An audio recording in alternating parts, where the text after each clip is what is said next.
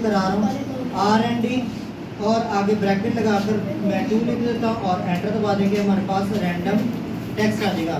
R A N D bracket two ये हमारे पास दो रैंडम पैराग्राफ आ गए।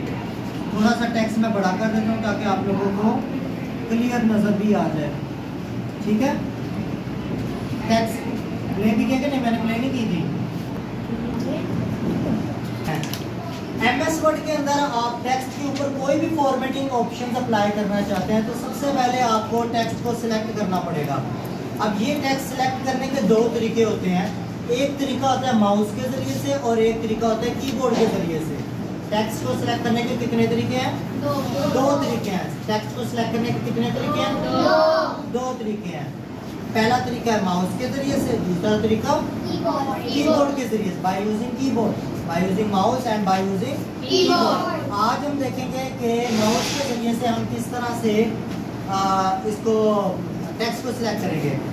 आपने क्या करना है सबसे पहले ये आपके पास होता है कर्सर कर्सर नज़र नहीं आ रहा आपको मुझे एक मैं ना पेज का कलर वाइट करके आपको कर्सर दिखा दूँ। ये आपको नज़र आ रहा है इंसर्शन पॉइंट आइसा बना। इसको हम कहते हैं कर्सर इसे हम क्या कहते हैं? फॉर एग्ज़ाम्पल मैं यहाँ से लेकर यहाँ तक पावरफुल तक वीडियो से लेकर पावरफुल तक टेक्स्ट सेलेक्ट करना चाह रहा हूँ। टेक्स्ट को सेलेक्ट करना चाह रहा हूँ। तो मैं क्या करूँगा, सबसे पहले ये जो कर्सर है माउस का, इसको मैं यहाँ पर ले आऊँगा बी से पहले। क्या करूँगा? बी से पहले ले आऊँगा। आप वो दीवार के साथ हो, जो ना आपको नज़र आ जाएगा। शाबाश। अच्छा यहाँ पे लाकर आप क्या करोगे माउस के दो क्लिक होते हैं माउस के? ओके सर माउस के दो क्लिक होते हैं एक है लेफ़्ट क्लिक और एक right click left click press करके लेफ़्ट क्लिक प्रेस करके फिर आप क्या करेंगे? इस कर्सर को मूव करेंगे.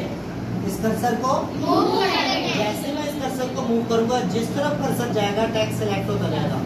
लेफ़्ट क्लिक प्रेस करके रखना है. लेफ़्ट क्लिक मैंने भी लेफ़्ट क्लिक प्रेस प्रेस करके रखा हुआ है। वापस आएँगे तो सिलेक्शन वापस आ जाएगी। आगे जाएँगे तो सिलेक्शन आगे चलती जाएगी। ये जितना ब्लैक होता जा रहा है इसका मतलब ये टेक्स्ट सिलेक्ट होता जा रहा है। और जैसे मैं छोड़ूँगा ये टेक्स्ट सिलेक्ट हो गया। ये टेक्स्ट क्या हो गया?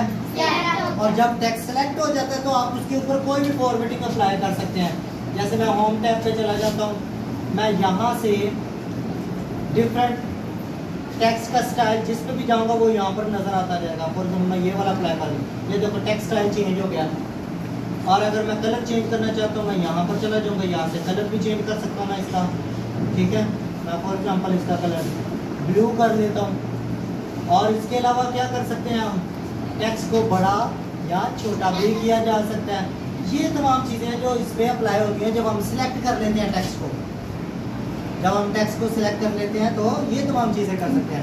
अगेन टेक्स्ट को सिलेक्ट करने के क्या तरीके हैं? दो।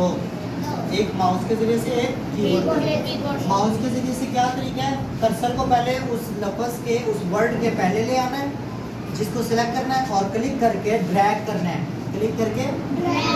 ड्रैग करने का मतलब है कि क्लिक करके रखना है और माउस को मूव करना है। माउस जिस तरफ़ को मूव करोगे उस तरफ़ को सिलेक्शन होती जाएगी। ओके बंद कर